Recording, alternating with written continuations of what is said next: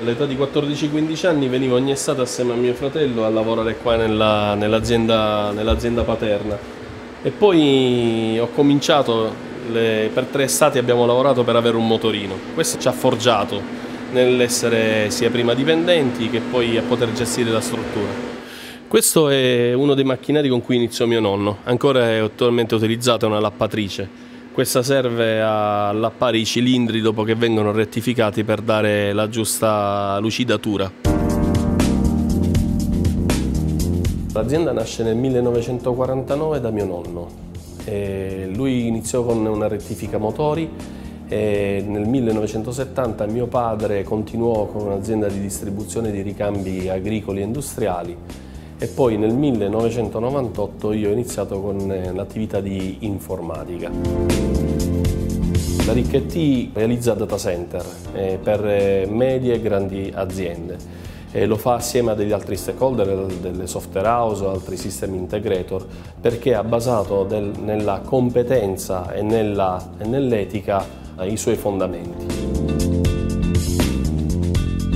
passaggio generazionale sicuramente eh, come normalmente vive delle difficoltà, anche noi le abbiamo, le abbiamo vissute ma le abbiamo passate. Eh, degli studiosi paragonano a tre mesi della nostra vita un anno informatico, quindi considerate quattro anni in un anno. E ha fatto sì che eh, creasse delle frizioni all'inizio. E poi l'azienda crescendo parecchio in termini di fatturato e di dipendenti ed essendosi strutturata da azienda commerciale ad azienda di servizio ha, um, si è ritenuto uh, con la famiglia di voler scindere e creare due realtà. Questo per prepararci alla venuta della quarta e della quinta generazione che è già nata. Il valore dell'azienda non è l'azienda ma l'uomo che c'è all'interno dell'azienda.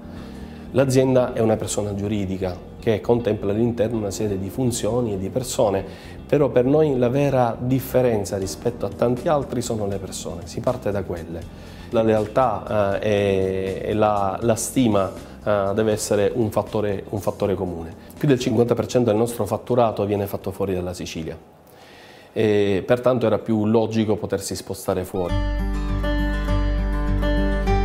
Noi abbiamo voluto invece stare nel nostro territorio per cercare di cambiare il nostro territorio.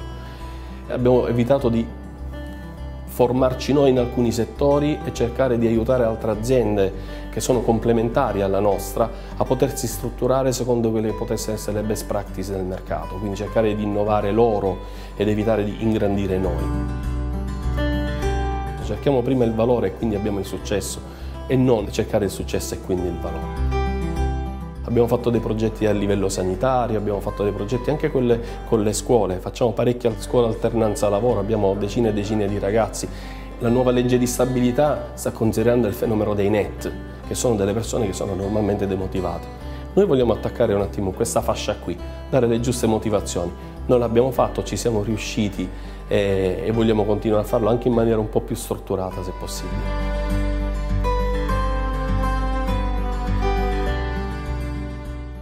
La fedeltà ai valori, alle persone e ha dato poi il cambiamento e quindi il poter essere oggi aziende di riferimento a livello nazionale in un settore così complesso come la tecnologia.